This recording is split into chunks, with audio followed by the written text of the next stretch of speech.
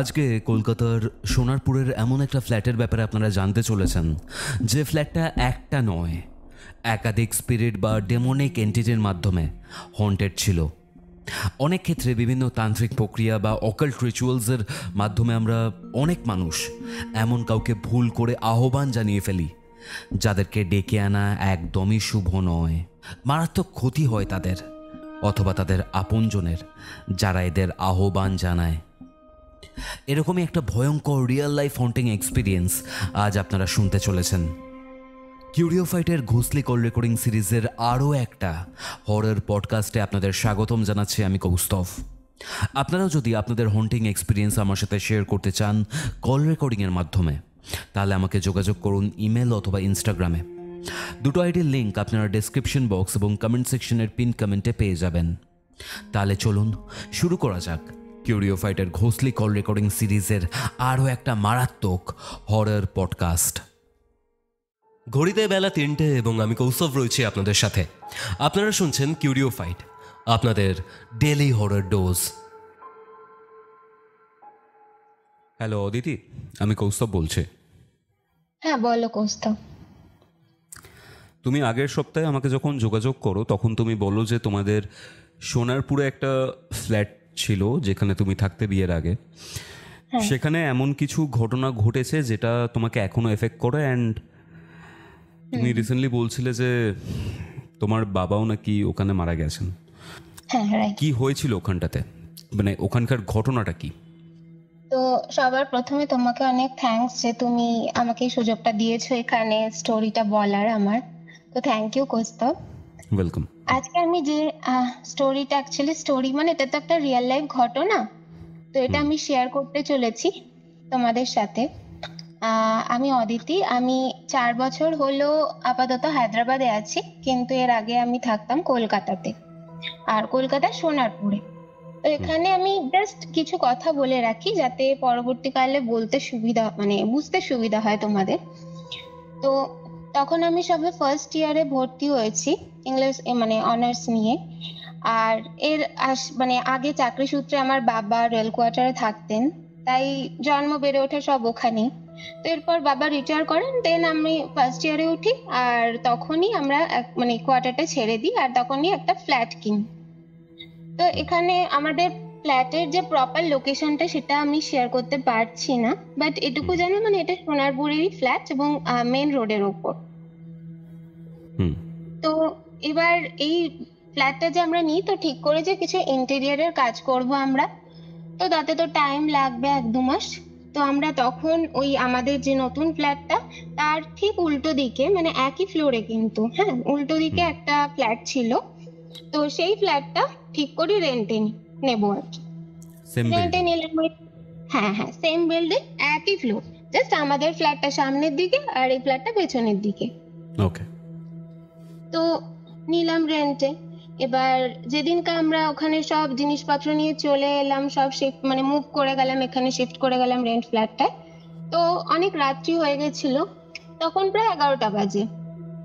তো আমরা সবাই খাওয়া দাওয়া করলাম। মানে এক্ষেত্রে বলে দিই, আমি, আমার মা আর বাবা, দুই কাকা। তো দুই কাকা আমাদের সঙ্গে সবসময় থাকতেন না, কিন্তু যেহেতু আমাদের এরকম চলছিল, এই সমস্ত জিনিসপত্র আসা যাওয়া এসব চলছিল, তো ওনারাও ছিলেন হেল্প করছিলেন। তো এরপর ঠিক ওই এগারোটা বাজলো, তারপরে আমরা সব খাওয়া দাওয়া করে নিলাম। তো খেয়ে দিয়ে উঠতে উঠতে সবকিছু করে প্রায় তখন সাড়ে বারোটা বেজে গেছে। এবার এবার আমি বলি, আমাদের ফ্ল্যাটটা মানে মেন ডোর দিয়ে ঢুকলে, ঢুকে প্রথমে ড্রয়িং তারপরে তোমার ডাইনিং তারপরে কিচেন আর দুটো রুম ছিল। একটা রুম দিয়ে ব্যালকনিতে যাওয়া যায় এবং এই ব্যালকনিটা কিন্তু পিছনের দিকে মানে ওখান থেকে একটা ডোবা আছে মানে ওই কি বলব ওই জায়গাটা একটা ডোবা আর পুরো জঙ্গল মতো। ঠিক আছে এবার রাত্রেবেলা এবার আমরা সবে শুয়েছি। যেহেতু কিছুই হয়নি তখন রাত্রেবেলা আমরা নিচেই বিছানা করে সবাই একসাথে শুয়েছি। জাস্ট লাইটটা অফ করে শুয়েছি। ঠিক সেই সময় আহ, দরজাতে জাস্ট একটা আওয়াজ হলো খটখট করে। ঠিক আছে কেউ যদি খটখট করে তোমার দরজায় ধরো টোকা মারে যেরকম আওয়াজ হয় ঠিক সেম ছিল আওয়াজটা। তো অবভিয়াসলি আমরা ভাবি যে এত রাত্রবেলা কি? তো যাই হোক কাকা বেরোলো বেরিয়ে বলল দাঁড়া দেখছি কি। তো কাকা বেরোলো বেরিয়ে প্রথমে যেটা হয় আমরা তো হুট করে দরজাটা খুলে দিই না মানে এত রাত্রেবেলা। তো ওই। ম্যাজিক আই যেটা থাকে দরজায় সেটা দিয়ে প্রথমে দেখ দেখার চেষ্টা করল যে কে। তো দেখছে বাইরে কিছু দেখতে পাচ্ছে না। তারপর আমাদের কোলাপসেবলও তখন দেয়া হয়ে গেছিল। নিয়ে ওসব খুলে টুলে কাকা বাইরে দেখল যে কেউ নেই। মানে অ্যাটলিস্ট আমাদের ফ্লোরে তো কেউই ছিল না। তো আমরা জিজ্ঞেস করছি যে কি হলো কাকাকে? তখন কাউ বলছে কেউ নেই রে। আচ্ছা এই তো খটখট করল তো কেউ নেই মানে বুঝলাম না। তখন বলছে দাঁড়া আমি তাহলে না একবার দেখি কেউ আছে কিনা তো আমার কাকা যে বেরোতে যাবে তখন বাবা আর আরেক যে কাকা ছিল তখন ওরাও বলল যে যে একা যাস না আমরাও যাচ্ছি। মানে হয় না একটা ভয় কাজ করে কে এরকম এত রাত্রে। ওই ফ্লোরে কি তোমরা একাই ছিলে শুধু? মানে একটাই। ফ্যামিলি ছিলে? হ্যাঁ ওই ফ্লোরে না মানে বরাবরই বাদ বাকি আর দুটো যে ফ্ল্যাট সেই দুটো ফ্ল্যাটও কিন্তু মানে কেউ আর কি থাকে না ঠিক আছে? মানে কিনে রেখেছে কিন্তু কেউ থাকে না। তোমরা একাই ওইটাতে ছিলে? হ্যাঁ আমরা শুধু রেন্টের ফ্ল্যাটটাতে ছিলাম আর অপোজিটের ফ্ল্যাটটা আমরা কিনেছি যেটাই রেনোভেশন চলছিল আর কি। তো সেটাতে আমরা চলে যাব এরকম একটা ব্যাপার। এবার যাই হোক আহ, সবাই বেরোলো। বেরিয়ে এবার আমার এক কাকা গেল ওপরে। তো আমাদের ফ্লোরটা না ছিল থার্ড ফ্লোর থার্ড ফ্লোরের ওপরে একটা ফ্লোর আর তারপরে ছাদ। আর আমাদের নিচে তো রয়েছেই ফ্লোর তো এক কাকা গেল ওপরে দেখতে। তো ওপরে দেখতে গিয়ে দেখল যে ছাদে যথারীতি তালা দেওয়া। আর ওপরে আচ্ছা। ফ্লোরে কেউ কোথাও নেই। ঠিক আছে? আর আমার বাবা আর আরেক কাকা নিচে নেমেছিল। তো নিচে নেমে যেটা আমাদের ফ্ল্যাটের মানে মেন এন্ট্রান্স তো ওখানে একজন সিকিউরিটি থাকে। আর তোমার রাত্রেবেলা কিন্তু দরজায় তালা দেওয়া থাকে। মানে বারোটা বারোটার আগেই সাড়ে এগারোটার দিকেই দরজায় তালা পড়ে যায়। তো এবার গিয়ে দেখল কেউ নেই। তো ভাবছি আমরা তো ভাবছি যে কি হচ্ছে এবার আমারও তো একটা ভয় করছে আমি আর মা ঘরে আছি। যাই হোক এরকম সময় হঠাৎ করে কারেন্টটা চলে গেল। এবার আমি বলে রাখি আমাদের ফ্ল্যাটে না ইনভার্টারের সিস্টেম করা আছে। তো মানে ইনভার্টারের থ্রুতে চলে আসে আবার লাইটটা তো যাই হোক সেটা কিছুক্ষণ টাইম লাগে ঠিক আছে? এবার যেই কারেন্টটা চলে গেছে তখন মানে আমি এটা কাকা মানে এসে বলেছে শুনতে পেয়েছি? আমরা তো ভাবছি যা বাবা এর মধ্যে আবার অন্ধকার হয়ে গেল? আর ওরা টর্চ নিয়েও বেরোয়নি যে এবার যাই হোক এবার ওরা উঠে এসেছে হঠাৎ করে দেখছি আমার কাকা এক কাকা আর কি বলছে কে রে? এরকম করে বলে উঠল। তা আমি ভাবলাম যে কি হলো হঠাৎ করে বা চোর টোর না কি মানে এরকম কে রে কাকে বলছে? তারপরে কিছুক্ষণ পর দেখলাম কাকা এলো আর বাবা আর আরেক কাকাও নিচ থেকে চলে এলো। আচ্ছা। এর মধ্যে কারেন্টটা চলে এসছে আর আমাদের ঘরেও হচ্ছে কারেন্ট চলে এসছে ইনভার্টারের থ্রুতে এবার কারেন্ট চলে আসার পর ওরা এলো, আর তখন আমরা জিজ্ঞেস করলাম যে, কি ব্যাপার? কি হয়েছে? মানে চিৎকার কেন করলি হঠাৎ? নিয়ে বলল যে, আমি না মানে যখন কারেন্টটা অফ হয়ে গেছে, তখন আমি দাঁড়িয়েছিলাম এক জায়গায়, কারণ কি সিঁড়ির মধ্যে উঠতে নামতে যদি পড়ে টরে যাই, আমরা ভাবছিলাম যে কারেন্টটা আস মানে ইনভার্টারের লাইনটা আসুক, তারপরেই উঠবো। তো এমন সময় হঠাৎ করে কাকার পায়ে না একটা সফট টাচ হয়েছে। এবার ওই টাচটাতে মানে কাকা বলে উঠেছে, কে রে? এরকম বলে উঠেছে। পায়ে টাচ হয়েছে? তারপর হ্যাঁ পায়ে একটা টাচ হয়েছে। আচ্ছা। তারপরে এবার ওই যে বললাম কারেন্টটা এসছে তখন মানে দেখছে যে একটা পুরো ব্ল্যাক কালারের একটা বিড়াল। বুঝছ তো? মানে পুরো কুচকুচে কালো একটা বিড়াল। তো ওটা ভেবেছে যে ঠিক আছে বিড়ালের জন্যই হয়েছে মানে বিড়ালের টাচটাই হয়তো লেগেছিল। সেটাই ভেবেছে কাকা তো এসে সেটাই বলল। এবার আমি আর মা দুজনেই কোয়েশ্চেন করছি যে আরে অদ্ভুত তো তাহলে দরজায় কে মানে তখন ঠক ঠক করল? আমরা তো সবাই শুনলাম না? একজন তো শুনিনি। সবাই শুনেছি তার মানে জিনিসটা ভুল নয়। অথচ ওরা গিয়ে দেখছে কেউ নেই ওপরেও নেই নিচেও নেই আর তোমার মানে তালাও দেওয়া। সুতরাং কেউ যে কি কোথাও থেকে এসছে বা কিছু তাও না। যাই হোক সেই দিনকার রাত্রবেলা তো আমরা শুয়ে পড়লাম। পরের দিন সকালবেলায় আমি যথারীতি বললাম কলেজ গেলাম। যে কলেজ কোন সালের ঘটনা অদিতি? মানে তুমি কোন সালের ঘটনাটা বলছো এটা? এটা না দু ইয়া এটা না দু হাজার বারো সালের ঘটনা। ঠিক আছে? ওকে হুম। তো এবার আমি গেলাম। তো যথারীতি যেরকম হয় আমার দিন কাটলো টাটলো। ফিরলাম সন্ধ্যাবেলায়। নিয়ে এইভাবে হয়ে গেল সারাদিন চলে গেল। রাতে এবার খেয়ে দিয়ে যখন শুতে গেছি আমার মানে মোটামুটি শুতে বরাবরই দেরি হয়। তোমার সাড়ে এগারোটা বেজেই যায় বারোটা।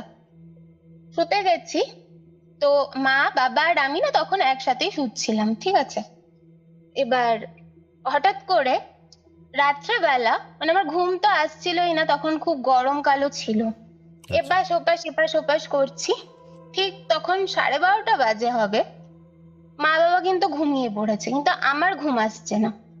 এবার আমি হঠাৎ করে না শুনতে পাচ্ছি যে একটা নুপুরের আওয়াজ। নুপুরের আসছে আওয়াজ? ঠিক আছে?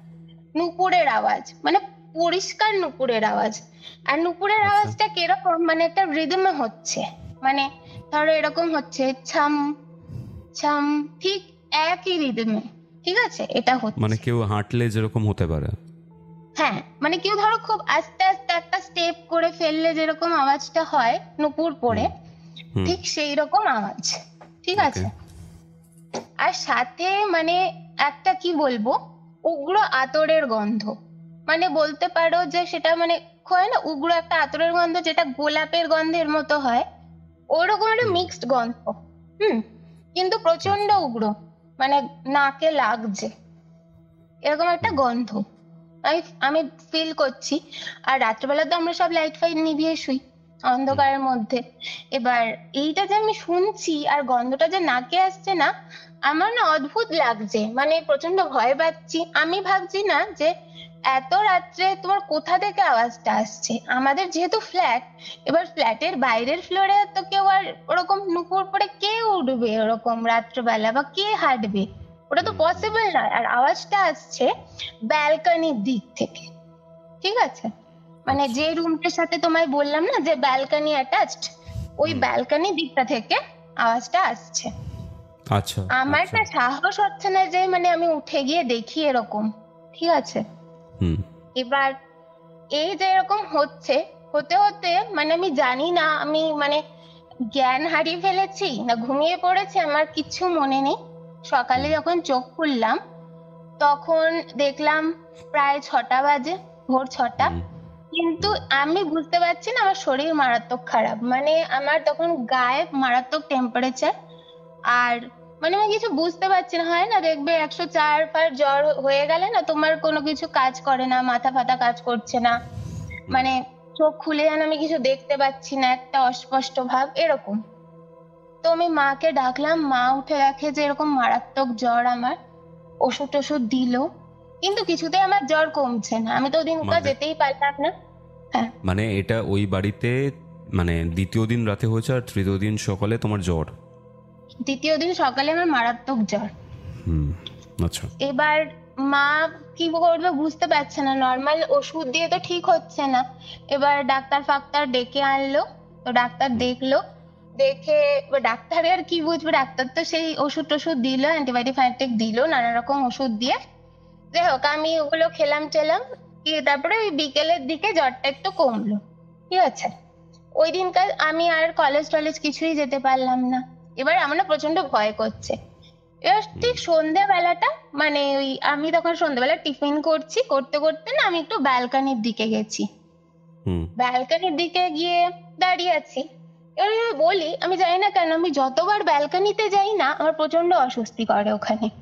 মানে আমি ফিল করি যে কিছু মানে কিছু একটা ফিল করতে পারি একটা আনইজিনেস মানে কিছু একটা আছে বা ভালো না জায়গাটা এরকম আমার মন মনে হয় আর কি।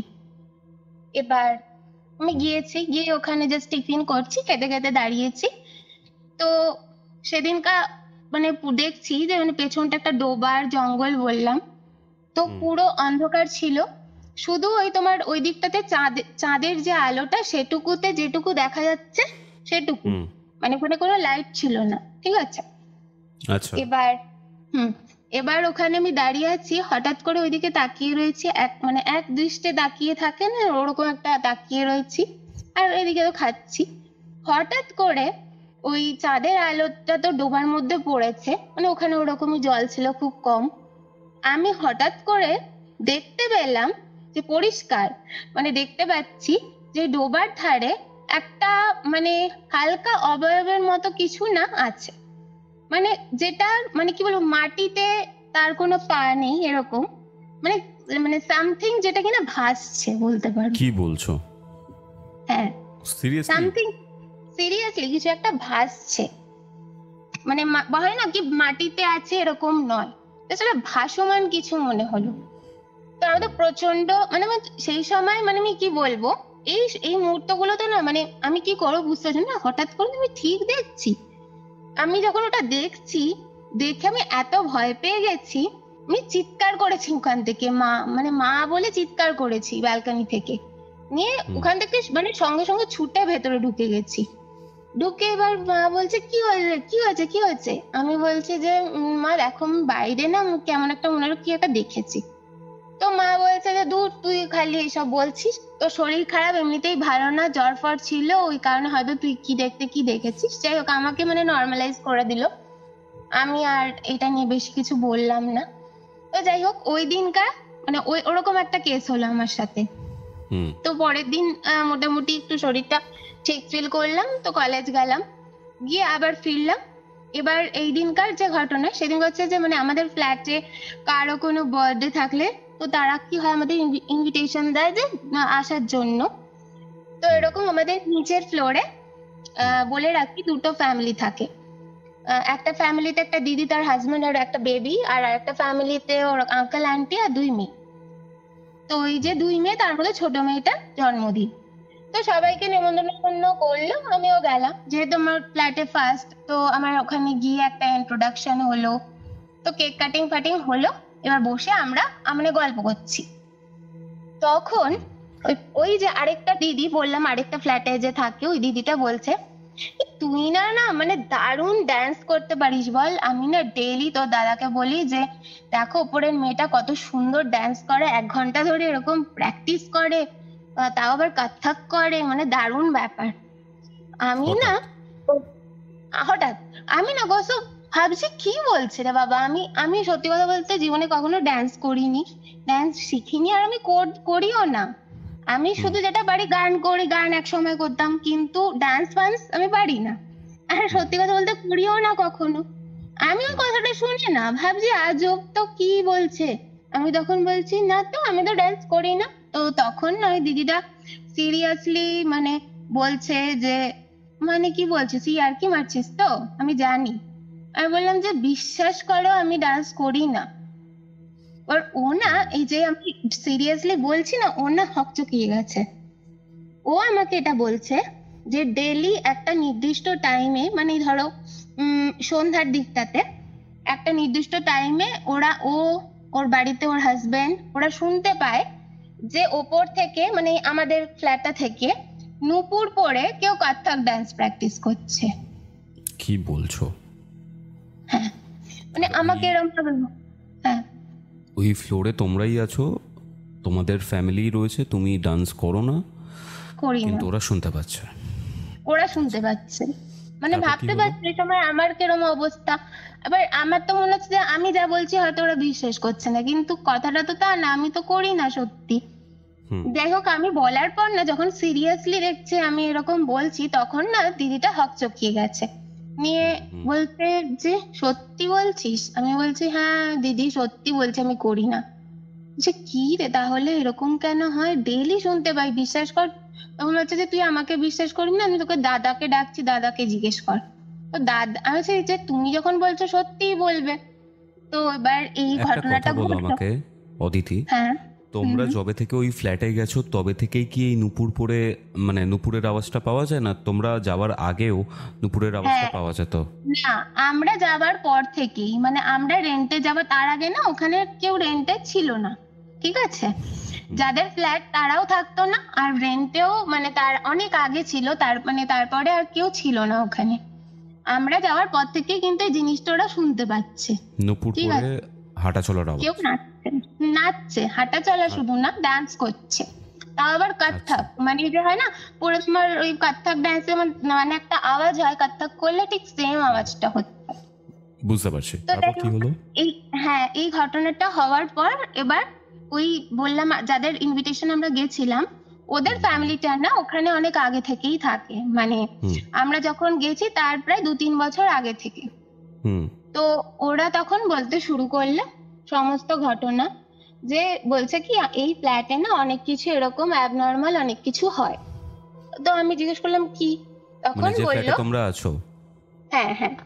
তখন বলল যে ওই যে দিদিটা আমাকে বলছিল কত্থক ডান্সের কথা ওই দিদিটার যে ফ্ল্যাটটা কিনেছে আমরা যেমন নতুন ফ্ল্যাট কিনেছি সামনের ফ্ল্যাটটা ওই দিদিরা যে ফ্ল্যাটটা কিনেছে ওই ফ্ল্যাটটা কিন্তু আগে একটা ফ্যামিলি থাকতো। ওই আচ্ছা, ফ্যামিলিটা সেল করে চলে যায়। তো সেই। ফ্ল্যাটটা ওই দিদিরা কেনে। তো. এবার বলি ওই ফ্যামিলিটার কথা। ফ্যামিলিটাতে একটা আঙ্কেল ছিল আন্টি ছিল আর তার মানে এক ছেলে এক মেয়ে। তো ভালোই ছিল কিন্তু ওই আন্টি যে ছিল সেই আন্টিটা নাকি মানে তোমার সাইক্রিয়াটিস্ট ছিল। আর হ্যাঁ। আর আচ্ছা। উনি উনি ঘরে না প্ল্যানচেট এই ধরনের ভুতুড়ে যে বিদ্যাগুলো হয় না এগুলো প্র্যাকটিস করতেন। কিন্তু তুমি তো বললে সাইকিয়াট্রিস্ট ছিল ডক্টর ছিল একজন। ডক্টর ছিলেন এগুলো প্র্যাকটিস করতেন। জানি না কি শখে করতেন বা কেন করতেন। আমি তো দেখ মানে আমি আমরা যখন গেছি তখন অলরেডি এই দিদিটাকে সেল করে দিয়েছে ওরা। এটা আমাকে ওরা বলছে যে এরকম করতেন প্র্যাকটিস এবং ওদের যে ঘরের ভেতরটা ছিল অদ্ভুতুরে মানে এরা কেউ ঢুকতে চাইতো না ওদের ঘরে। মানে তোমার রাত্রিবেলাতে কি হয়? আমরা তো সন্ধ্যা রাত্রিবেলায় ঘরে লাইট জ্বালিয়ে রাখি।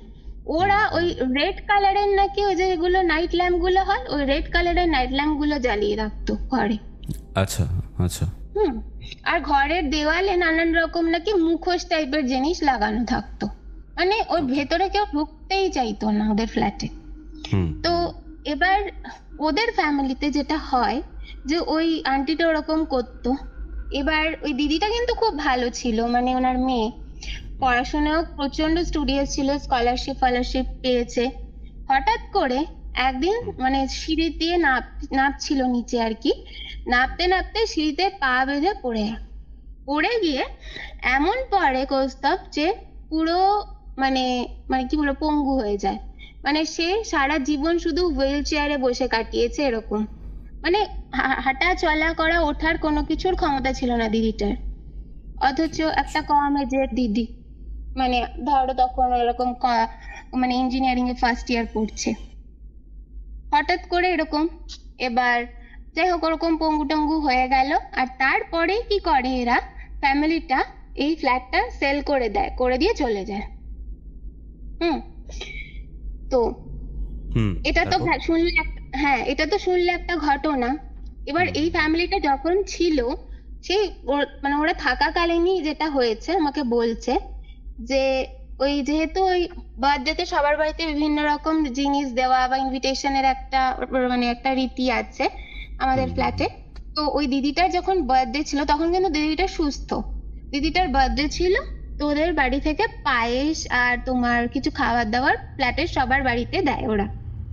আচ্ছা। প্রত্যেকের বাড়িতে পায়েসের মধ্যে আহ, সবাই পায় এটা আহ, তোমার আঙুলের নখ অনেক বড় হয়ে গেল। ধরো তুমি তিন চার মাস কাটছো না। ওরম বড় হয়ে গেলে যেরকম হয় ওরকম একটা নখ যেটা কিন্তু পুরো ডার্টি ঠিক আছে? ওই পায়েসের মধ্যে ছিল। প্রত্যেকের পায়েসে ওরকম পেয়েছে।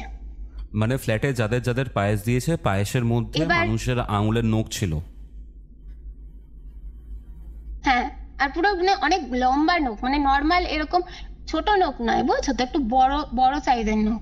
আর যেটা কিনা পুরো বললাম তোমার ডার্টি টাইপের ছিল।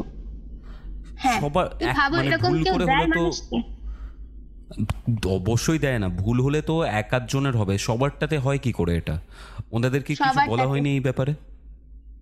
না ওনাদের এই ব্যাপারে কেউ কিছু বলেনি বিকজ মানে মানে কি বলবে বলো? হট করে তো এরকম কিছু বলা যায় না। এবার এবার যেহেতু এরকম ঘটনা ঘটেছে সেদিনকার কেউ জানতে পারেনি। পরের দিন আবার আরেকজনকে বলেছে জানিস তো আমার পায়ে সেরম ছিল।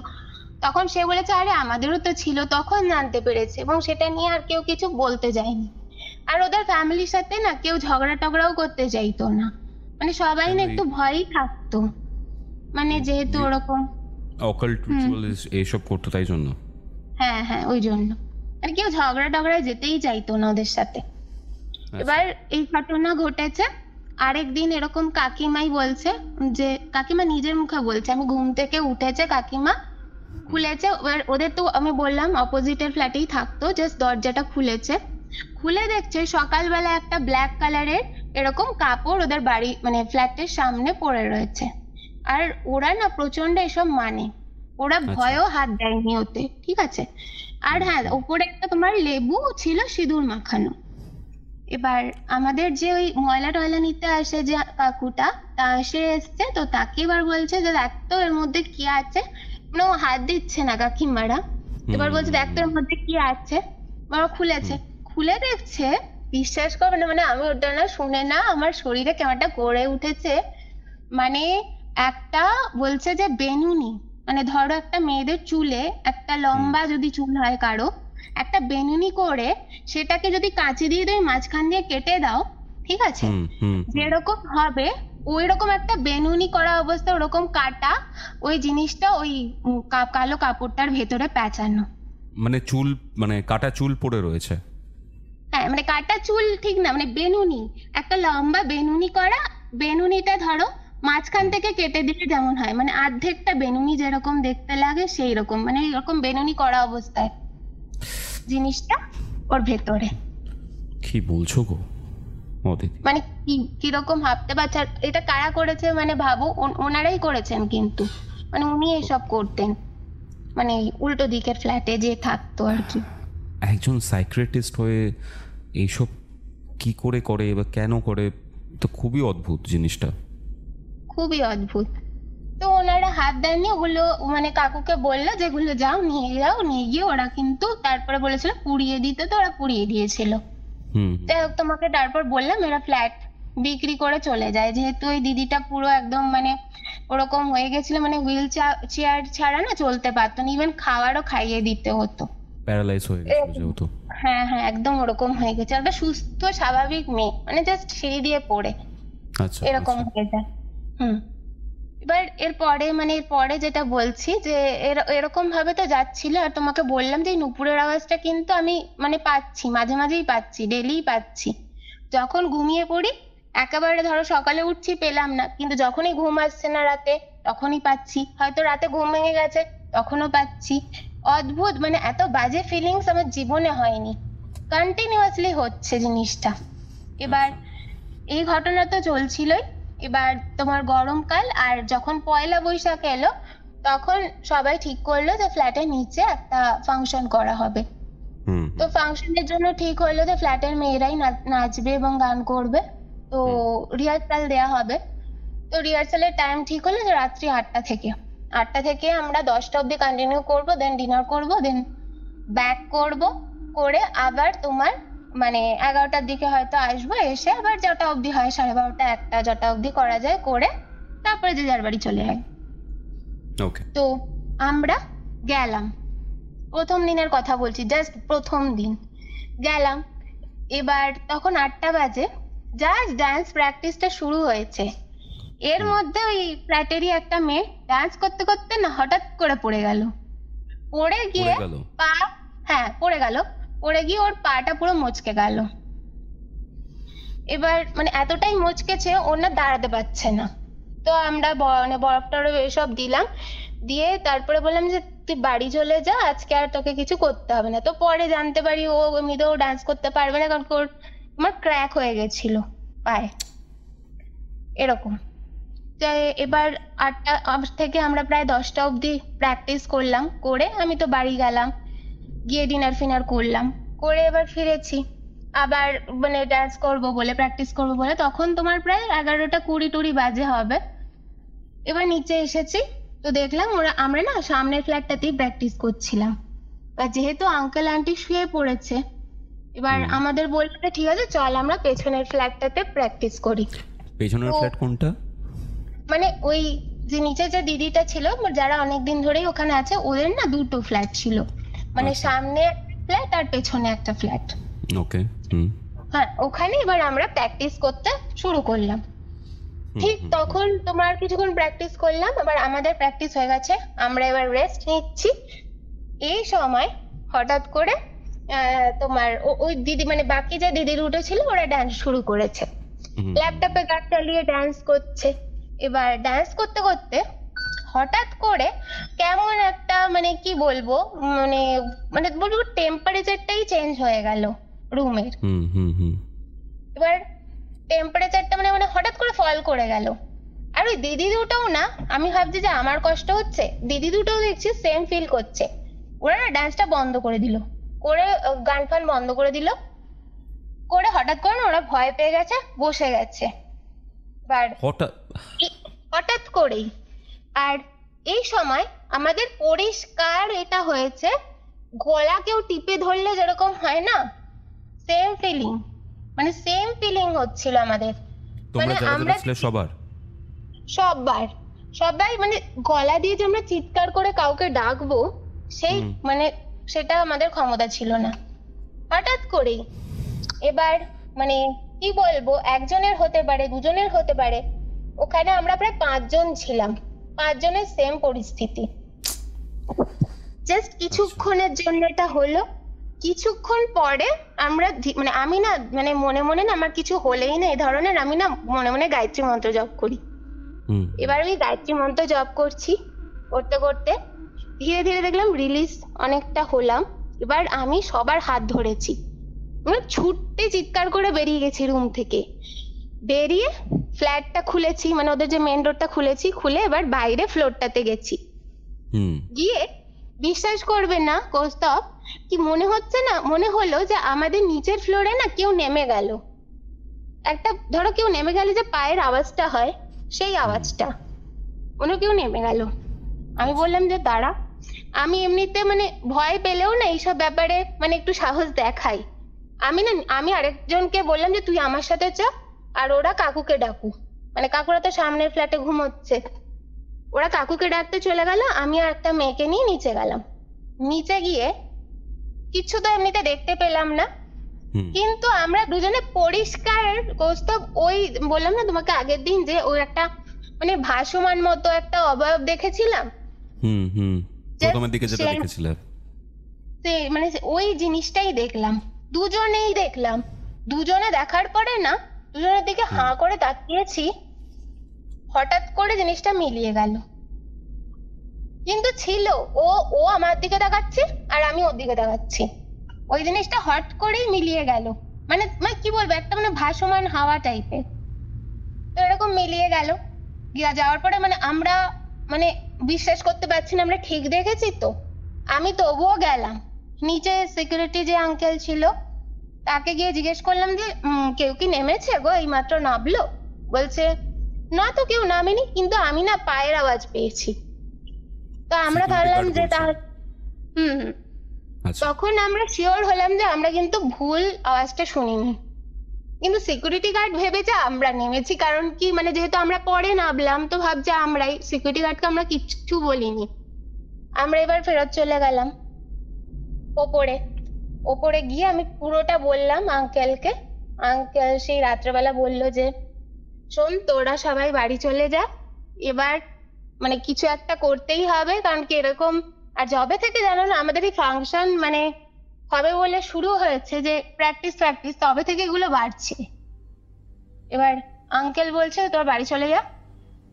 দেখছি কি করা যায় কিন্তু এই জিনিসটা তো এত বেড়ে গেছে এর একটা কিছু তো করতে হবে এইভাবে চলে না। তো আমরা তো ভয়ে ভয়ে যে যার মতো বাড়ি চলে গেলাম। আমি বাড়িতে গিয়ে আবার মাকে বললাম যে জানো তো, এরকম এরকম হয়েছে। এবার ঠিক সেই রাতে কৌস্তব মানে তখন একটা একটা বাজে, হঠাৎ করে মানে আমি শুতে যাব, হঠাৎ করে না আমার বুকে ব্যথা। আর তার সাথে তোমায় কি বলব, শরীর মারাত্মক খারাপ লাগছে। এতই খারাপ লাগছে যে মাথা ফাথা ঘুরছে। প্রচণ্ড শরীর খারাপ। মা তো বুঝতে পারছে না কি করবে। আর এত বুকে ব্যথা করছে আমি তো ভাবছি যে আমার মানে হার্ট অ্যাটাক না চলে আসছে এরকম মানে মারাত্মক ব্যথা করছে। এই অবস্থায় মানে মা সেই মানে কান্নাকাটি শুরু করে দিয়েছে নিয়ে ফ্ল্যাটের সবাইকে ডেকেছে। সবাই বলল যে চলো চলো এখনই ডাক্তারের কাছে নিয়ে যেতে হবে। এবার আমাকে নিয়ে সেই ডাক্তারের কাছে ছুটলো কোনো রকমে বুঝতে পারছ? অত রাতে কিছু পাওয়া যায় না। এবার সেই ডাক্তার হ্যাঁ তারপর সোনারপুরে। মানে তখন একটা কাকু এত হেল্প করেছে মানে সে ডাক্তারের গেট টপকে চলে গেছে ডাক্তারকে ডাকতে। এরকম ভাবে গিয়ে শেষে ডাক্তারকে সে ডেকে এনেছে। নিয়ে ডাক্তার বলল যে যে বোঝা তো যাচ্ছে না কি হয়েছে, তবে আমি একটা ওষুধ দিচ্ছি, এই ওষুধটা ইমিডিয়েটলি খাইয়ে দিই। এই ওষুধটা যদি সুস্থ না হয় তাহলে হসপিটালাইজ করতে হবে। এবার ওষুধটা খেলাম, তো খাওয়ার পর আমি শুলাম। নিয়ে তারপরে না ধীরে ধীরে কষ্ট আমি মানে অনেকটা মানে সুস্থ বোধ করলাম। তখন কটা করার পর বাজছে তখন মানে ঘটনা হওয়ার পর ডাক্তার দেখ মানে এসব হচ্ছে তখন প্রায় ধরো আড়াইটে তিনটে বেজে গেছে। বাপরে বাপ। হ্যাঁ মানে আমার আচ্ছা। ওইটা যে কি কি শরীর খারাপ হয়েছিল মানে আমি তো ভেবেছিলাম আমি আর বাঁচবো না। জাস্ট এরকম লাগছিল তখন। তাই হোক আমি ওই ওষুধটা খেয়ে না ধীরে ধীরে তারপরে একটু সুস্থ হলাম। আর ডাক্তার না বলেছিল পুরো বেড রেস্ট এবার ভাবো, আমি একটা দায়িত্ব নিয়েছি যে একটা ফাংশনে আমি মানে কিছু করব, সেখানে ডাক্তার বেড রেস্ট বলে দিল। তা আমি না মনে মনে ঠিক করলাম যে যাই হয়ে যাক না কেন, আমি তোমার করবই। ঠিক আছে, আমি হয়তো প্র্যাকটিস করতে পারব না, কিন্তু আমি ফাইনালের দিন করবই। তো ওই দিদিরা নাচতো আর আমি না বসে বসে দেখতাম। মানে আমার বেশি কিছু ছিল না, আমার একটা গান ছিল আর একটা উদ্বোধনী একটা ড্যান্স ছিল, যেখানে আমার একটা মানে একটু পার্ট ছিল। আচ্ছা। তো হ্যাঁ এবার তো আমি ওটা দেখতাম প্র্যাকটিস কিন্তু করিনি। এবার ফাইনালি ওই দিনকাটা এলো, যেদিনকা আমাদের মানে প্রোগ্রাম হবে। এবার দেখো মানে যে ওখানে ছিল, সে না কিছুতেই চাইছে না যে মানে কিছু ঠিকঠাক হোক। আর ড্যান্সের সাথে তার কোনো একটা কিছু ছিল, এটা আমি না সবাইকে বলছিলাম। কারণ কি জবে থেকে ওখানে এরকম ড্যান্সের সব ব্যাপার শুরু হয়েছে যে প্রোগ্রাম হবে এইসব হবে, তবে থেকে যেন পাগলের মতো মানে ওই স্পিরিটটা মানে কীরকম একটা যেন হয়ে গেছে মানে অদ্ভুত একটা পরিবেশ। তো এবার আমি মেকআপ ওখানে মেকআপ আর্টিস্ট এসেছে মেকআপ করতে বসেছি। এবার বলি আমরা পেছনের ফ্ল্যাটটাতেই সবাই মেকআপ করছিলাম কারণ কি ওদের ওই ফ্ল্যাটটাতে তোমার একটা বড় কাচ লাগানো ছিল। মানে মিরার হয় না পুরো একটা দেওয়াল জুড়ে ওদের মিরার ছিল। তো ওখানে তোমার মেকআপ টেকআপ করাটা অনেকটা সুবিধে ছিল। তো আমরা গেলাম আবার সেই যখন সাজতে বসেছে মেকআপ আর্টিস্ট সবে মেকআপটা শুরু করেছে এমন কারেন্ট অফ হয়ে গেল। আর ওদের বাড়িতে ইনভার্টার ছিল। ইনভার্টারটা ওদের কাজ করে কিন্তু। পুরো ভালো একটা ইনভার্টার হঠাৎ করে ইনভার্টারটাও চলল না। মানে ইনভার্টারটা কিছু একটা হয়েছে চলছে না। হুম। তো এবার কাকু বলেছে আমি কি করে মেকআপ করব? তো তোমার ওই তখন আর কি তো ওই তোমার ওই যে চার্জারগুলো হয় না তোমার ব্যাটারি চার্জারগুলো তখন ছিল। তো ওই ওইটা একটা নিয়ে এলো নিয়ে ওটা দিয়ে বলল যে এটা দিয়ে করতে হবে আর কিছু উপায় নেই। তো ওটা দিয়ে সবাইকে করে দেওয়ার পর আমি লাস্টে বসেছিলাম আমার তখনও কিছুটা মেকআপ বাকি ছিল। ওরা সবাই নিজে চলে গেল আর আমাকে কাকু করছে। আর আমি বলে দিই এই সময় রুমে আমি আর ওই মেকআপ মানে আর্টিস্ট যে ছিল সে আর কেউ ছিল না। তো এরকম সময় হঠাৎ করে মানে বেশি তো আলো নেই অল্প আলো হঠাৎ করে তোমার কাঁচটা যে ছিল না বিশাল বড় কাঁচ সেই কাঁচটা না একটা আওয়াজ হলো আর পুরো কাঁচটা না ক্র্যাক করে গেল। মানে পুরো একটা আওয়াজ হলো আর পুরো ক্র্যাক করে গেল কাঁচটা। মানে কাঁচে ফাটল ধরে গেলে যেরকম হয় না ওই রকম হুম এবার- এটা তো খুবই আনন্যাচারাল মানে মানে বলছি তো মানে যখন থেকেই তোমার এই ড্যান্সের ব্যাপারটা শুরু হয়েছে না তখন থেকেই না মানে স্পিরিটটা যেন পাগল হয়ে গেছে এরকম একটা ব্যাপার। মানে তোমরা কি বুঝতে পারছিলে যে এখানে কোনো স্পিরিট বা কোনো আনন্যাচারাল এন্টিটি রয়েছে বা কিছু?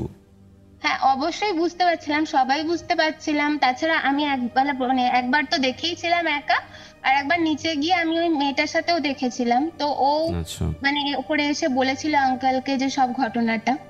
কিছু একটা ছিল। এবার হ্যাঁ এবার বলি ওই ক্র্যাক হয়ে গেল না? এবার আমি আর আর মেকআপ আর্টিস্ট দুজনেই হতবাক যে কি হলো? এবার আমি তো বুঝতে পারছি কৌস্তব যে কিছু একটা ব্যাপার আছে এখানে কিছু তো একটা আছে। নয়তো হঠাৎ করে কারেন্ট চলে যাচ্ছে ইনভার্টার কাজ করছে না এগুলো সবকিছুই একটা মানে নর্মাল বা ন্যাচারাল ব্যাপার নয়। তার মধ্যে ওরকম কাজ হ্যাঁ ওরকম কাছে হলো। তো তাই যাই হোক অনেক কষ্টে মেকআপ কাকু মানে অনেক কষ্ট করে সাজিয়ে টাজিয়ে দিয়ে শাড়ি টাড়ি ঠিকঠাক করে করে দিয়ে গেল। মানে সামনের ফ্ল্যাটটায় গেল। আর আমি ওখানে বসে আছি। আমি যে ঠিক আছে এবার আমিও যাব। নিচে ধীরে ধীরে আমারও আছে পারফরমেন্স তো আমি ওখানে বসে আছি। হঠাৎ করে দেখছি কৌস্তব ওই যে ক্র্যাক যে ক্র্যাক করা যে কাঁচটা ছিল না ওই কাঁচের দিকে। তাকিয়েছি। আচ্ছা। তাকিয়ে না আমি স্পষ্ট দেখতে পেয়েছি। তখন মানে হয়তো লাইট ছিল না কিন্তু তোমার ব্যাটারি চার্জার যে লাইট ওটা তো ছিল। স্পষ্ট আমি দেখলাম না আমার পেছনে কেউ একটা দাঁড়িয়ে আছে। কি বলছো? কীরকম অবস্থা ভাবো অলরেডি আমার তখন অত শরীর খারাপের মধ্যে দিয়ে যাচ্ছি। ওরকম পেছনে না জাস্ট কেউ একটা দাঁড়িয়ে আছে। আচ্ছা আমি মানে ভাঙা কাজটার মতো দেখতে পেলে। দেখতে পাচ্ছি। আমি তখন না আবার সেম মানে যখনই এটা দেখতাম এরকম কেন হতো বলতে পারব না সবার সাথেই হতো। কেমন দেখতে ছিল? মনে আছে? মানে কি বলব খুব একটা আচ্ছা আচ্ছা মনে হচ্ছে কি একটা দাঁড়িয়ে আছে। এবং মনে হলো না আমার মহিলা। ঠিক আছে এটা আমার মনে হলো যে কোনো মহিলা মানে তার অবয়বটা দেখুন না মহিলা। ঠিক আছে। আচ্ছা আচ্ছা হুম। এবার এবার এরকম ঘটনাটা ঘটার পরে মানে আমি না আবার সেই পরিস্থিতি নিঃশ্বাস নিতে কষ্ট। আর আমি কাউকে যে চিৎকার করে ডাকবো সেটা পাচ্ছি না। মানে জাস্ট মনে হচ্ছে আমার গলাটা কেউ আটকে ধরেছে। আমি কারোর নামই উচ্চারণ করতে পারছি না। আচ্ছা আমি আচ্ছা। মানে এরকম পরিস্থিতিতে যতবার পড়েছি আমি প্রতিবার শুধু একটি মন্ত্র জপ করতাম মনে মনে। ওই ঠাকুরকে ডাকছি ডাকতে ডাকতে তারপরে আমি কাচের দিকে তাকালাম। দেখলাম কেউ নেই কেউ নেই কিন্তু। এবার আমি রুম থেকে জাস্ট দৌড়ে বেরিয়ে গেছি। বেরিয়ে গিয়ে আমি নিচে গেছি। নিচে গিয়ে এবার যারা ছিল আমার মানে ফ্রেন্ডস যারা ছিল ওই ফ্ল্যাটে সবাইকে আমি কিন্তু বললাম ঘটনাটা। ওরা তো শুনে অবাক ওরা প্রায় তখনই কাকু কাকিমা দৌড়ে এলো ওপরে এসে দেখে ওদের পুরো কাজটা ক্র্যাক করে গেছে। কারণ কি ওদের কাজটা তোমার পুরো দেওয়াল জোড়া ছিল তোমায় বলেছি। মানে বিশাল মানে একটা মিরর ছিল। তো মিররটা পুরো ক্র্যাক করে গেছিল কাকিমারা ঠিক করল যে এবার মানে কিছু করার নেই এবার একটা কিছু ব্যবস্থা করতেই হবে না তো কিছু হবে না। মানে ওনারাও তো ফিল করছিলেন অনেকদিন ধরেই। ওনারা ফিল করছিল ওনারা অলরেডি ভয় পেতেন। পেছনের ফ্ল্যাটে কেউ যেতে চাইতো না। ঠিক ওই আছে জন্যই ওখানে না থেকে এখানে থাকছিল। মানে যেহেতু ওই জন্য ওখানে হ্যাঁ ওরা কি করতো? দিনের বেলা ওখানটা থাকতো। কিন্তু যে সন্ধ্যা হতো না কেউ থাকতে চাইতো না। আচ্ছা আচ্ছা আচ্ছা। এরকম। এবার? আর- আরও একটা হ্যাঁ, জিনিস বলি কৌস্তব ওই ফ্ল্যাটে না অ্যাকচুয়ালি দুটো স্পিরিট ছিল। ঠিক আছে? একটা? স্পিরিট নয় ভাবো। কি ভয়ঙ্কর ব্যাপার। মানে দুটো স্পিরিট ছিল। একটা স্পিরিট আমি বলছি কার ছিল বড় মানে বলছি তোমাকে। এবার এটা হয়ে গেল সেদিনকা পরের দিন সকালবেলায় আঙ্কেল এলেন আমাদের বাড়িতে। তো আমার মানে এক মামা নিজের মামা নয় আমি মামা বলে ডাকতাম। তো সেই মামাকে বল মানে ফোন করতে বলল। তো উনি ছিলেন না পুরো আধ্যাত্মিক জগতের লোক। মানে বিশাল আচ্ছা। পাওয়ার ছিল ওনার বুঝেছ তো?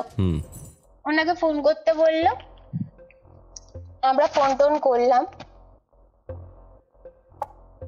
এরকম বলা হলো যে এই হচ্ছে।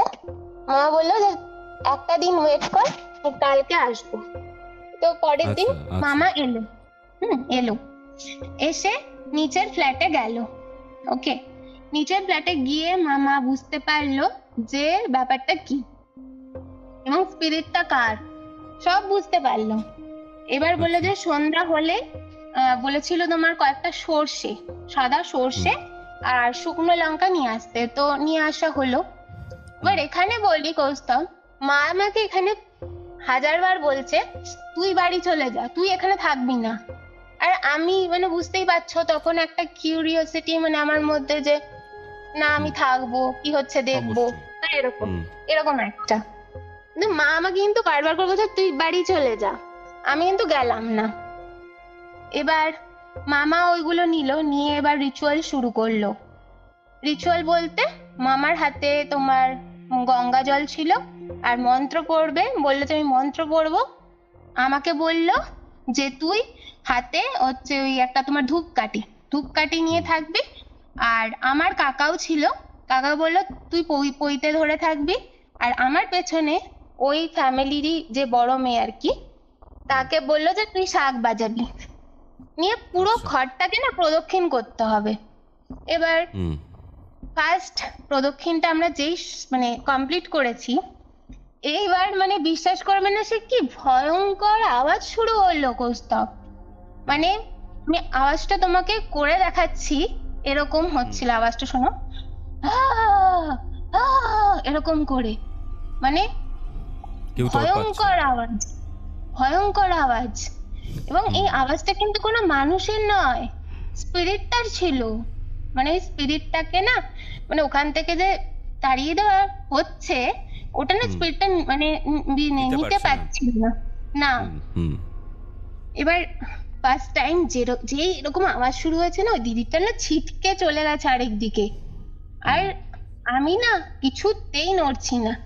আর মা বলছে "তো বলছি না তোদের ঘুরতে এরকম করলে চলবে না ঘুরতেই হবে। এবার আমরা ঘুরছি। আর ঘুরতে শুরু করলাম। আমি বললাম দিদি এরকম করো না ঘুরতেই হবে। তখন দিদিটা এবার এলো এসে আবার শাক বাজাতে শুরু করল আমরা ঘুরলাম। হুম। এইরকম পাঁচবার প্রদক্ষিণ করলাম। করার পর এই আওয়াজটা কিন্তু কন্টিনিউ চলল। আর ফ্ল্যাটের প্রত্যেকটা মানে প্রত্যেকটা মানুষ এই আওয়াজটা সেই দিনকার শুনতে পেল। প্রথম। যে এরকম একটা মানে কেউ মানে যন্ত্রণা এরকম করছে আ করে। তারপর যখন লাস্ট টাইম প্রদক্ষিণ আমরা শেষ করলাম আওয়াজটা স্টপ স্টপ করে গেল। যতক্ষণ মানে- করছিলে আওয়াজটা শুনতে পাচ্ছিলে। হ্যাঁ বাট লাস্ট টাইম যখন করে শেষ করলাম আওয়াজটা চুপ। আচ্ছা। এবার এবার নেক্সট রিচুয়াল ছিল যে ওই জিনিসটাকে পোড়ানো। তো এবারে সর্ষে আর লঙ্কা যেটা ওইটাকে পোড়ানো হলো। পোড়ানোর পর না তোমার কৌস্তব কি বলব কি বিচ্ছিরি একটা স্মেল আসতে শুরু করল ওর মধ্যে দিয়ে। মানে শ্মশানে যে ধরনের স্মেল হয় না তোমার মানে মানুষের চামড়া পুড়লে এরকম যে স্মেলটা হয় না? মানে তুমি ভাবতে পারছ একটা সর্ষে আর শুকনো লঙ্কা পুড়লে কীরকম স্মেল আসতে পারে তার থেকে? এক্স্যাক্টলি কিন্তু তার জায়গায় আসছে চামড়া পড়ার গন্ধ। হ্যাঁ জাস্ট শ্মশানে যে স্মেলটা আসে সেরকম স্মেলটা এরকম মানে এলো। আচ্ছা খুবই নেগেটিভ হ্যাঁ। বাড়িটা হ্যাঁ। খুবই আসার পরে আসার পরে না ওরকম গন্ধটা কিছুক্ষণ থাকল তারপরে নিভে টিভে গেল। তারপর না তুমি বুঝতে পারবে না তুমি ফিল করতে পারবে যে ফ্ল্যাটটা মনে হচ্ছে না পুরো হালকা হয়ে গেল। হুম? তো আচ্ছা পর I see. প- এবার এরপরে কাক মানে মামা সে রিভিল করল অ্যাকচুয়ালি ওই যে আঙ্কেলটা ওই আঙ্কেলের মা ছিল। বুঝতে পেরেছ? আঙ্কেল মানে যাদের বাড়িতে রিচুয়ালটা হলো। হ্যাঁ ওই আঙ্কেলের মায়ের একটা ছবি ছিল বিশ্বাস করবে না গোস্ত মানে এত ভয়ঙ্কর। আচ্ছা তুমি বলো মানে ফ্যামিলিতে কেউ মারা গেলে তার যে ছবিটা থাকে ধরো লাগাই আমরা তার ছবি দেখে কি আমরা কখনো ভয় পাই? না পাই না তো। খুব একটা বা পাইনি, হ্যাঁ পাই না। এবার মানে আমাদের একটা শ্রদ্ধা হয় তার প্রতি। ওই মানে আঙ্কেলের যে মায়ের যে ছবিটা ওরা লাগিয়ে রেখেছিল না ঘরে সেই ছবিটা দেখলেই মনে হতো চোখ দিয়ে ভস্ম করে দেবে। মানে এরকম। মানে একটা অ্যাংরি ফেস টাইপের ধরলে যেরকম হয় না একটা কড়া দৃষ্টিতে তাকিয়ে থাকে ওই রকম একটা ছবি ওদের বাড়িতে ছিল। মানে ওটা বাঁধানো ছিল। আঙ্কেলের মায়ের। তো তারপরে ওই মামা বলল যে ওনার স্পিরিটই ছিল এখানে। ঠিক আছে? বলছিল। এটাই ছিল। এবার হ্যাঁ আরেকজনেরটা যেটা বলছি মানে যেটা গোটা ফ্ল্যাটে স্পিরিটটা ছিল এটা কি অতৃপ্ত ছিল? মানে মানে অতৃপ্ত মুক্তি পাননি। তার কিছু কারণ হচ্ছে গিয়ে মানে এই আঙ্কেলটা আর কি মানে এই আঙ্কেলটার দুই মেয়ে তো মেয়ে দুটোকে মানে ওদের ঠাকুমা খুবই ভালোবাসতো। কিন্তু মানে আঙ্কেলটা সবসময় মাকে যে বাড়িতে এনে রাখা বা আসতে বলা বা তার সেবা যত্ন করা এগুলো করতো না। মানে এনারা আলাদা একটা ফ্যামিলি হিসাবে থাকতো। আঙ্কেলের মা হ্যাঁ। আলাদা থাকতেন বৃদ্ধ আলাদা থাকতেন। হ্যাঁ হ্যাঁ হ্যাঁ। সেই একটা হয় না হয়তো কোনো আশ বা কিছু ছিল মনে। ঠিক আছে আর আঙ্কেলের মা না খুব নাচ গান পছন্দ করতেন। ঠিক আছে খুবই পছন্দ করতেন। মানে শোনা গেল। তো মামা তখন বলেছিল যে এই এই ছবিটা না তোমরা রেখো না। ছবিটা তোমরা জল গঙ্গা টঙ্গায় গিয়ে ভাসিয়ে দিও। পরিষ্কার বারণ করে দিল। এই যে তো কি। নুপুরের আওয়াজ পাওয়া যেত? না এবার এবার হচ্ছে কি দাঁড়াও আমাদের ফ্ল্যাটে আরও একটা স্পিরিট ছিল। এটা তো গেল এদের বাড়ির স্পিরিটটা যেটা ভেতরে এরকম হতো। এবার আরেক আরেকটা যে স্পিরিটটা ছিল সেই স্পিরিটটাও স্পিরিটটার যে কু মানে প্রভাব তার ফলে এই যে মানুষের শরীর খারাপ হওয়া এগুলো সবসময় লেগে থাকতো। মানে স্পিরিটটা ডিরেক্টলি হয়তো কারোর ক্ষতি করতো না। যেমন ওই মেয়েটার ক্ষতি করে দিয়েছিল যে হুইল চেয়ারে মানে হয়ে গেছিল সারা জীবনের। জন্য। এই স্পিরিটটাকেও তো এবার কিছু করতে হবে। তো এবারে কাকুটা মানে এই আমার মামা তো মানে কাজটা করে দিয়েছিল। তারপরে কাকুটা আরও একজনকে এরকম খবর দিলেন। উনিও খুব খুব নাম করা আর কি। মানে তোমার তারাপীঠে থাকতেন আর কি এনাদের দীক্ষা নেওয়া ছিল। তাকে খবর দিলেন তো উনি এলো। এসে না একটা যজ্ঞ করল গোটা ফ্ল্যাটে করার পর তো তখন আমরা ওই যজ্ঞে দেখতে পেয়েছিলাম সবাই দেখতে পেয়েছিলাম যে একটা না কালো ধোঁয়া মতো তোমার ঠিক ওই মানে ওই মানে মানে আমরা তো থাকতাম হচ্ছে থার্ড ফ্লোরে আমাদের নিচের যে ফ্লোরটা ওই ফ্লোরটা দিয়ে না বেরিয়ে চলে গেল। আচ্ছা। পেছন থেকে বেরিয়ে চলে গেল। আর এইটা মানে ওই মানে যে তারাপীঠ থেকে এসেছিলেন উনি বললেন যে এই স্পিরিটটা নাকি মারাত্মক স্পিরিট ছিল। এ কি করতো? আমাদের ফ্ল্যাটের পেছনে থাকতো। ঠিক আছে? তোমাকে বললাম যে ডোবা জঙ্গল ছিল ওখানে থাকতো। এই স্পিরিটটা ওখান থেকে উঠতো। উঠে এবার এ না আমাদের ওই নিচ ফ্লোর দিয়েই যাতায়াতটা বেশি করতো। ওখান থেকে যেত গিয়ে এবার আমাদের মেন রোডটা দিয়ে গিয়ে না একটা মসজিদ পড়ে। ওই মসজিদে একটা গাছ আছে ওখানে গিয়ে নাকি ও মানে ওখানে গিয়ে চুপ হয়ে মানে ওখানে গিয়ে থেমে যেত। মানে ওর ডেইলি ওটা চলাচলের পথ ছিল। মানে আমাদের ফ্ল্যাটটা বুঝেছ তো? এবার ওই জন্য কি হয় ও যদি কাউর সেইভাবে ক্ষতি করার নাও চেষ্টা করতো তবুও একবার একটা নেগেটিভ এনার্জির ফলে না অনেক কিছু খারাপ হয়। হুম হাওয়া লেগে যায় যে ব্যাপারটা। হ্যাঁ হ্যাঁ হ্যাঁ ওই জিনিসটাই আমাদের সাথে হচ্ছিল। তো ওটা আমরা তো সেইভাবে জানতাম না কিন্তু ওটা না একটা জিন ছিল বলেছিল। আচ্ছা, ওটা একটা আচ্ছা। জিন ছিল। কারণ কি আমাদের এরিয়ার আশেপাশে কিছুটা এগিয়ে গিয়ে না একটু মুসলিম এরিয়া ছিল। আর অ্যাকচুয়ালি তুমি যদি আসল গল্পটা শোনো মানে এই সোনারপুরের যে নাম সোনারপুর হয়েছে কেন? কেন? অ্যাকচুয়ালি এখানে মানে যে ওই জমিদার ছিল না সে মুসলিম ছিল। আর সে বিয়ে করেছিল একটা হিন্দু মেয়ে আচ্ছা আচ্ছা। তো তার নাম ছিল মানে ওই লোকটার নাম ছিল হচ্ছে গিয়ে সোনাই কাজী। আর ওনার আর কি যে ওয়াইফ ছিলেন হিন্দু ছিলেন তো উনি হাতে শাখা পলা সব করতেন বিয়ের পরেও। ইভেন তোমার ঠাকুর পুজো টুজো সব করতেন। হ্যাঁ। তো এবার ওটার জন্যই বলছি যে আমাদের ওই এরিয়ার ওখানে আশেপাশে অনেক মুসলিম ছিল। তো ওই পেছনে ওইটা আর কি ওই জিনটা থাকতো আর যেহেতু ওরকম ভাবে চলতো, তো আমাদের ফ্ল্যাটের ওপর ওর একটা কুদৃষ্টি ছিল। যেদিনকে ওই যজ্ঞটা হয়েছিল না, সেদিনকে আমরা দেখেছিলাম যে ওরকম একটা কালো ধোঁয়া মতো চলে গেল ফ্ল্যাট থেকে বেরিয়ে। তো তখন বলেছিল উনি মানে তারাপীঠ থেকে যে এসেছিলেন, উনি বলেছিলেন যে এই যে এটা চলে গেল তো, আর মনে হয় না আর কোনো অসুবিধা হবে। কিন্তু উনি আমাদের ফ্ল্যাটটাকে না বেঁধে দিয়েছিলেন। মানে পরবর্তীকালে যাতে কোনো অসুবিধা না হয়। হুম। মানে বেসিক্যালি যেটা বুঝতে পারছি যে দুটো স্পিরিটের প্রভাব ছিল তোমাদের ওই পার্টিকুলার ফ্ল্যাটে একটা হচ্ছে ওই আঙ্কেলের মায়ের হুম। আর আরেকটা যেটা বললে ওই ডোবা থেকে যে উঠে তার চলাচলের পথের মধ্যে তোমাদের ওই ফ্ল্যাটটা পড়তো। মানে এই যে নুপুরের শব্দ পেতে তীব্র আঁতরের গন্ধ পেতে গোলাপের একটা আঁতরের গন্ধ সেটা কি এই জিনটার জন্য হতো? হ্যাঁ সেটাই জিনটার জন্য হতো। আর স্পেশালি মানে ও- ওখানে যেটা হতো মানে ওদের ফ্ল্যাট বা ওই সংক্রান্ত যেগুলো হতো সেগুলো হতো ওই মানে ওনার মানে মায়ের যে স্পিরিটটা ছিল আর কি সেটার জন্য হতো। মানে উনি হয়তো কোনোভাবে রেগেছিলেন বা কোনো অসুবিধা ছিল। মানে তোমাকে যেটা বললাম যে হয় না একটা টেক কেয়ার করার ব্যাপার থাকে একজনের বয়স হয়ে গেলে তখন তারা অনেক কিছু এক্সপেক্ট করে। তোমার মামা যখন যজ্ঞটা করলেন তখন এই ফ্ল্যাটের যে মানে এই জেনটার যে কথাটা বলছি আমি তাকে কোনোভাবে তাড়ানো যায়নি? মানে উনি কি শুধু ওই পার্টিকুলার ফ্ল্যাটের যোগ্যটাই করেছিলেন? না না মানে- মানে আমার মাম- আমার মামা যেটা করেছিল তোমার হ্যাঁ। সেটাতেও হচ্ছে ওনার মায়ের যেটা ওটা গেল তারপরে আঙ্কেলরা ডেকে এনেছিল যাকে সেটা ওই তারাপীঠে যার কাছ থেকে ওরা দীক্ষা নিয়েছিল। উনি মানে উনি যখন। এসেছিলেন হ্যাঁ হ্যাঁ উনি যখন এসেছিলেন তোমার তখন উনি আলাদা যজ্ঞ করেছিলেন যেটা হচ্ছে কি আমাদের গোটা ফ্ল্যাটের মানে জন্য। আর তখনই হ্যাঁ বেঁধে দিয়েছিলেন তখনই ওই মানে জিনটা আর কি জিনের ব্যাপারটা কেন মানে ও পেছন থেকে উঠে আসে বা ওর যাতায়াতের পথেই আমাদের ফ্ল্যাটটা পড়ছে। তো এই এই আর আরেকটা জিনিস বলেছিলেন যে পেছনের ওই জঙ্গলটা পরিষ্কার করে দিতে। মানে ওখানেই নাকি ওর আস্তানা ছিল বুঝছ তো? আচ্ছা আচ্ছা। মানে জিনটা একটা মহিলা জিন ছিল। আহ, হ্যাঁ। ওই ম- মানে ও মানে হয়তো অনেক আগের এবার দেখো কখনকার সময়ের তো বলতে পারব না তোমাকে যেহেতু বললাম যে এটা একটা মুসলিম এরিয়া এবার মানে ওখানে তো হতে অনেক সময় দেখবে মানে যে কোনো জায়গাতে আগেকার দিনে কবর টবর দিয়ে দেওয়া হতো অনেক কিছুই করা হতো। হতে পারে হয়তো ওখানে ওরকম কিছু হয়েছিল কবর টবর দেওয়া এটাও হতে হয়েছিল পারে অনেক যে আগে। এটা মানে ধরো কাউকে হয়তো খুন করে সেখানে পুঁতে দেওয়া হয়েছিল সেই মহিলার হ্যাঁ, কারিন হ্যাঁ। জিন এটা। মানে হ্যাঁ অনেক অনেক কিছুই হতে পারে। অনেক কিছু হতে পারে কিন্তু যেহেতু এটা অনেক বছর আগের ঘটনা আমাদের পক্ষে তো সেটা সত্যি জানা সম্ভব নয়। কিন্তু ছিল জিনটা ছিল।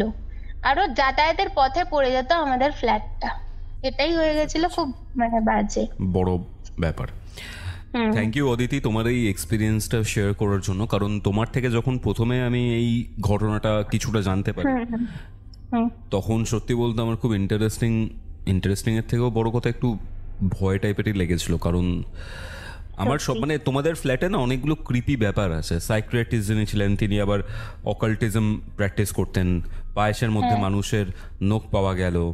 তোমাকে বলে রাখি যে এই জিনের ব্যাপারটা কিন্তু আমার আমার মনে হয় এরকমও হতে পারে ফ্ল্যাটের অনেকে অনুমান করে যে উনি হতে পারে যে উনি প্ল্যান চেট করতে গিয়ে হয়তো এরকম কোনো আত্মাকে এনে ফেলেছিলেন যে আর ফেরত যায়নি। এটাও কিন্তু পসিবল ওই সাইক্রেটিস্টের কথা বলছো যার মেয়ে প্যারালাইজ হয়ে গেল সেই থেকে পড়ে। হ্যাঁ হ্যাঁ। হতেই পারে, কারণ- তার মেয়ে কেন হলো? এটা একটা ব্যাপার যে তার মেয়ের ওপরেই রাগটা পড়ল কিন্তু প্রকোপটা। কারণ ব্যাপারটা এরকম হতে পারে অদিতি। অনেক ক্ষেত্রে আমরা যাকে ডাকতে চাই সে আসে না অন্য কেউ চলে আসে ডাকে। প্লানচেট করতে হ্যাঁ, গিয়ে বা সিয়ান্স করতে গিয়ে যাই বলো তুমি। এবার যখন এরা আসে না তখন এদের মানে অনেকটা কষ্ট হয় বা এনার্জি লস হয়। এবার সেটার একটা নেগেটিভ প্রভাব সেই পার্টিকুলার মানুষ যে ডাকছে বা তার খুব প্রিয়জনের ওপর পড়ে তার জন্য হয়তো তার মেয়ের এরকম একটা বড় ক্ষতি হয়ে গেল। এবার এটা তো জানা যাবে না এটা একটা স্পেকুলেশন মানে আমার মনে হচ্ছে এই পুরো জিনিসটা শোনার পর এরকম হতে পারে। ধন্যবাদ অদিতি তোমার এই ঘটনাটা এই ঘটনাগুলো রাদার শেয়ার করার জন্য। আশা করি সবাই ভালো থাকবে তোমাদের ফ্ল্যাটে এবং তুমিও ভালো থাকো। এটাই ছিল কিউরিও ফাইটের ঘোষলি কল রেকর্ডিং সিরিজের আজকের হরর পডকাস্ট কেমন লাগল আজকের এপিসোড কমেন্ট করে জানাতে ভুলবেন না। ভালো লাগলে অবশ্যই লাইক এবং শেয়ার করুন এবং কিউরিও ফাইট চ্যানেলে নতুন হলে সাবস্ক্রাইব করে বেল নোটিফিকেশন অন করে নিন। কিউরিওফাইটের এরকম আরও দুটো ভিডিওস দেখতে আপনার মোবাইল স্ক্রিনে আসে ডান দিকের অথবা বাদিকের বক্সে ক্লিক করুন।